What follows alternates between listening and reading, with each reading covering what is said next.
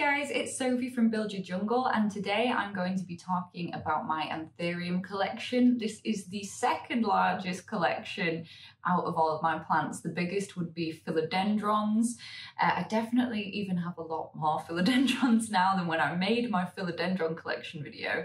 But the Anthuriums are the plants that I am the most interested in at the moment and definitely the part of my collection that I'm the most focused on growing at the moment. So I'm excited to show you guys these plants, which I have just been appreciating so much recently. I have quite a broad range of anthuriums because I've got some of the commoner ones and I've got some really weird ones as well. I'm going to start with something a bit weird. This is the second to last anthurium that I bought and it is an anthurium forgetii and this has been on my wish list for such a long time and I saw a private seller selling in Facebook groups. I'm going to put their Instagram on the screen now because they do sell sometimes on Instagram. It was such a good price. I can't remember how much it was now, but at the time I was thinking this is such a good price. And he so very kindly sent me this very large seedling. But This plant has a new leaf on the way and it's the first leaf that's putting out in my care, so I'm so, so excited. And these look so beautiful and they are very velvety. The leaf shape of the forgetii when it's mature is just very distinctive uh, from the other kind of key common anthuriums and it's something that just really stands out to me in the veining. And even at this really juvenile size, I really am loving this little guy. And one reason I love using clear plastic cups is because it's really easy to keep an eye on the root health, which can give you an early warning if there's root rot or something, or even pests in the roots that you might not have seen if it was in a normal nursery pot. And it gives you a chance to recycle these nasty plastics that get used. And I will literally use this to the point of it breaking like for many different plants to come so it's yeah it's really good and also because these have lips you can hang them if you want to put a hanging plant in a clear pot. Because this plant is so small, uh, I've got it in my greenhouse at the moment. I only have a few of my um, anthurium in the greenhouse because the rest just do fine, honestly, in my normal room humidity, which can be about from 60 to 70 depending on the time of year but I like to just provide the small ones with a bit more humidity until they're properly established. I like to have a chunky mix and then water when it's dry about down to there, so not letting it fully dry out. But do keep in mind in winter, especially if it's cold and you're in the UK and maybe you've not got heating on very often and the air is very damp, then you might need to reduce the watering a little bit less and let it dry out a little bit more because anthurium do get root rot when they sit in water. It's very important to pot them with drainage because in their natural habitat, they like to root in like the crevices of trees and climbing up other plants. So the roots wouldn't usually be uh, buried in a substrate like we have them. Next, I have two of the same plant, and you probably will know what, what this is if you are not new to this channel. My Anthurium Silver Blush that's I was going to say it's the only Anthurium I have a duplicate of, but that is not true. and this one was super, super tiny little plant that I got from the rescue section, I think at Langlands Garden Centre. And it was so, so small. It's lost a couple leaves along the way, but it's doing well now. This was its most recent leaf. And I got this one after. And this was really awful because this plant was meant to be a present for somebody. And I just couldn't do it. I, I bought them a different one because I fell in love with this specific plant.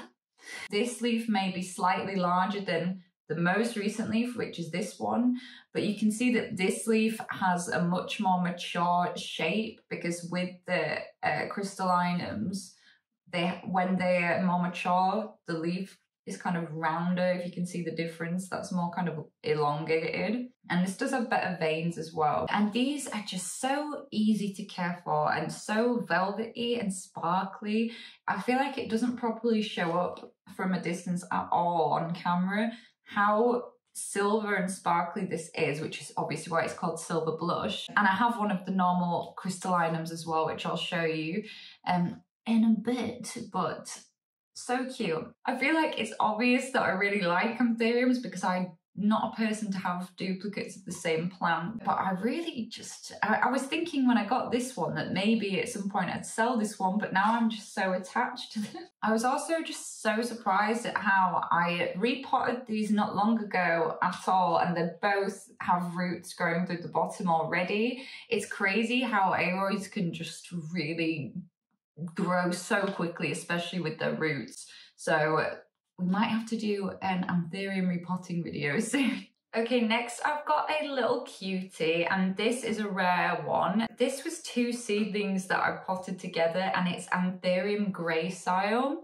And this is something a little bit different from the other Anthurium in my collection because when it's mature, it gets really elongated leaves. And also, I always think again, this is something that doesn't pick up, but the leaves uh, have a very subtle like sparkle to them. It's so nice, like a slight iridescence.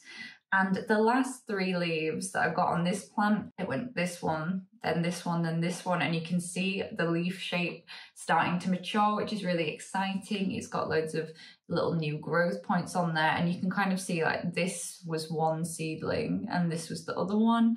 Uh, this one's doing a little bit better. So I know the option is there in the future if this gets big that I can pot them separately if I wanted to, but I've kind of become less into having many, many different plants and more into potting cuttings up together because like a few years ago I would definitely have opted to have two of them but I just prefer now having a fuller plant. I think there's a no it's not a fungus gnat. There's an actual fly in here. That's annoying. Go out please. The door's open that way. Yeah. No, you turned around. Again, I got this from a private seller on one of the Facebook groups because if you haven't already, like, especially like in our area, there's some really good uh, Facebook groups for plant people, and people often sell things at really good prices on there. And it's just a really good way to source some plants that can seem really unaffordable. I found with this plant, like it's been living in my prop box until literally two days ago. I had to move it into my greenhouse because the leaves were starting to touch the top of the box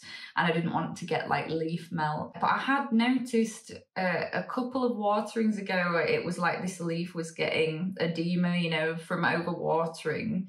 In fact, you can kind of see a little bit of evidence of it there. But I've noticed, so sometimes with an anthurium, it will be watered, it will get edema in one of the leaves, and then it will go away. And then the next time you water it, it'll come back in the exact same spots, like those cells are permanently damaged. But I have a leaf on my Anthurium clarinervium that's doing that at the moment. And it's still going away every time. It's weird because I know that when you get that on some outside plants, um, it can make like this orangey colour and there's usually like no going back for it but I'm very resistant to cut these leaves off especially because that can make the situation much worse if the plant's trying to take up uh, water still and you've now put even less plant tissue like I'm more than likely to damage one of the other leaves. So I think if this leaf is going to decline it's better to let it decline on its own and wait till it's fully yellow before cutting it off. But yeah, this is a cute little plant that I got for a good price and I saw a mature one in person recently and it made me really excited to keep growing this and see how it looks when it's bigger. Now this one I talked about in a plant haul and it is definitely my rarest anthurium and my favourite one that I've got and it is my anthurium umbricola. They just have the most reflective leaves because of all of this pillowy texture. And I was talking about this before. I just think it's beautiful. And when they're a bit bigger, I think they can also have a slight more blue sheen to them. As you can see, it's putting out this leaf. It's really been exciting to watch it expand. I love how when anthuriums put out new leaves, it'll start out diddy and then you get to watch it size up. So yeah, I don't really want to be this due for transpiration, but I don't want to be manhandling this leaf right now, but it looks like it's going to be a good one. I did briefly mention before as well that I think there is a fungal issue on this leaf, but because that I found through my experience that Anthurium are susceptible to edema more so than the other uh, aroids, I am just a bit mm, I don't really want to cut this off and then cause an issue, especially when I've got this beautiful new leaf coming. So I've sprayed it with fungicide. To be honest, I might do that again today and just avoid the new leaf. I always get funny about not wanting to spray like chemicals on brand new leaves because in my mind it feels like it will be too harsh. When I got this, I knocked this and snapped the stem and then I wrapped it in masking uh, tape for a few weeks and it healed but at like an angle and I've had that work for a philodendron as well before and I, it just surprises me that I thought for sure this leaf would die and it's totally fine but yeah so beautiful I'm really excited I'm I feel like I'm saying this about all of them except the super big one that I'm going to show you in a second um, but I am really excited to see it get bigger and I'm gonna have to have a think about what I'm gonna do with my anthurium. Like I may have some of them climbing. One of them seems very, very keen to climb. This one also seems like it would be quite keen to climb because it's already shooting out quite a lot of aerial root. Okay, this next one is really special. It's very heavy. it's in this hand. I will say the leaves are a bit dusty. It's hard to clean these velvety leaves, um, but this is my biggest anthurium. How cool is that? Oh my gosh, I love this plant. I love this plant so much. Like there's something about just a massive leaf. This is right next to my face. This is like three of my head. Like I can't believe it. I love it so much. And I did buy this big uh, and I will say it's had some issues. it's had some issues. She's called Nellie. Uh, and I don't name every plant because I have very many, many plants, but I like to name some of my favourites uh, sometimes. Make fun of me if you want. but this plant is called Nelly. Um, and why that is, is so that when I walk into the room and I see her, I can just be like, whoa, Nelly. This channel is a channel of bad puns. Whenever anyone asks me about my plants for the first time, this is usually one of the default ones that I go to show them. You know, when you're trying to show people that don't care about plants that plants are cool and they see this leaf, they're like, okay, yes, that's so cool. I think I paid about 60 quid, but I had a discount. I spent a very long time picking out which one I wanted. And I noticed that most of them, when they'd come in in the shipment, had got like a bit of a fungal issue. I've still got a bit on this leaf. And the other big, big leaf had a couple of fungal spots that weren't that bad, but I was looking at all of the plants overall and I thought, I still want this one because it looks like a good one. It was a good one. You are a good one, yes. But the fungal spots continued to spread even though I treated them probably because they'd just they'd recently been imported so i think they're just having some issues adjusting. So i made the decision in the end to cut off the leaf. Luckily didn't get edema which i thought was definitely going to happen after the anthurium experience. Uh, but other than that because this was quite a fungal spot originally and it's dried up now and it's not spreading anymore and then I've just got those two little ones on there that seem to be fine at the moment. I've noticed that when anthuriums get to this size, like it seems like it uses a lot less water.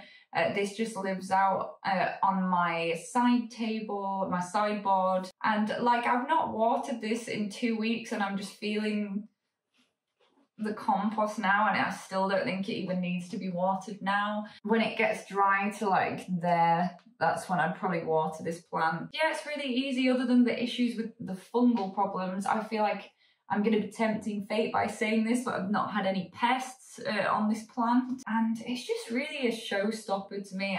There's something about velvety leaves. I think it's the whole sensory, like mindfulness aspect of plant care. Something that about anthuriums that just draws me to them, which must draw a lot of us to them, is there's just something alien about seeing such odd veins like striking on these dark, dark green leaves. It's so beautiful. And my housemate the one that I have a housemate that really likes plants, and I have a housemate that doesn't really care about plants. And she even thinks that this is cool. This is the one plant that she thinks they're so cool and she calls them uh, alien plants. I found it really easy to care for, but the one out of my collection I'm expecting to be the most difficult is Forgetii. As it gets bigger, I've seen a lot of people have issues with the leaves crisping and coming out weird, so we'll see if I have those issues. Hope not.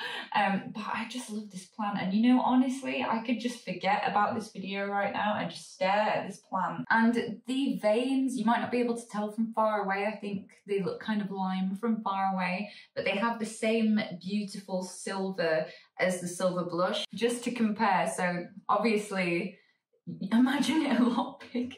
But you can see that the silver is just so much more pronounced in the silver blush, and I can imagine that will be blooming spectacular when it's as big as that. Next, I have the two Anthurium babies.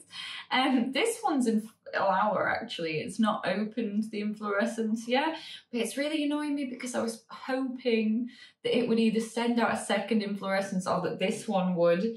It's not looking like, oh, fungus gnats. it's not looking like it's going to happen, unfortunately. Maybe I'll be able to get some pollen off people in the plant groups or something. This is one of my favourite plants. It's just so, I prefer the leaf shape of the Clarinervium to the crystallinum, and I think I will definitely God, be so obsessed with this when it's really big. There's been some times where I've definitely um, neglected these because I know that they can take it. Um, it's known as the cardboard anthurium because it's got quite thick leaves. I just find it so stunning. But this is a good chance to show you what I mean about the edema. These patches here, this is like the burst cells. Uh, and this one has it, the other one doesn't. And I'll tell you exactly why this one has it. This was the newest leaf, uh, which absolutely beautiful. Not quite as big as the last leaf, but very, very beautiful. It's kind of standing in a bit of an odd position right now because it's been leaning towards the different grow lights in my room. And it had uh, some kind of fungal issue on one of the other leaves. Uh, and it got to the point where I thought it wasn't spreading, but it did start to spread quite badly. And I really didn't want to have to cut the leaf off, but it just got to the point where I had to because it was around so many other anthuriums, which caused this edema. And then now because basically the plant's taking up the same amount of water thinking that all of its leaves are there and then it's not got it so it's too much water and it's burst the cells you know it's okay i just wanted to explain that issue in case anyone saw this on their anthurium and went to thinking oh pests because it's not actually pests I love the sinus on this plant and how the lobes overlap at the top. And a lot of people find these easy to grow in normal household conditions They're not as fussy about humidity. So if you want to get some anthuriums, this is such a good one to start with. Also, I would say that this is one of the most popular, if not the most popular anthuriums. I think it's good because I've got two. I can show you how a slight difference in appearance depending kind of what batch you get. This leaf, even though it's smaller, it somehow has a lot more mature uh, veination than, than this one does. I actually got this for someone. They didn't want it, so I kept it. I literally, it's the uh, first time I've given someone a plant and they were like, oh, you just keep it and look after it. So I was like, okay. So I've got two of them now, but I do really love them. And I used to have them living next to each other. This one's in one of my favourite pots. I got this from Poppy's Potting Shed. It's nice to have one of my favourite plants in more than one area of my room. This next one was an Ecuagenera import and I actually did like a whole Ecuagenera unboxing reel on my Instagram and then I did a Ecuagenera kind of import aftercare guide. I have had this plant for I want to say three months, but I'm going to write it on the screen just to make sure that I got this right. There were two plants in this import. It's not looking great, but it's still alive and it's still got leaves. This came from Ecuador in the middle of winter, so I feel like obviously that's quite a big temperature change for it to adjust to. And definitely was probably a bit silly, but they were having a sale. But it did, oh no, this was a flowering stem. It tried to flower again, and I was thinking that's not a good sign, is it? Because it's trying to desperately reproduce. but I've um, got finally a new growth point there. So hopefully we can start getting some healthy leaves. This leaf actually came out in my care, which I think you can tell. Yeah, the size difference is alarming.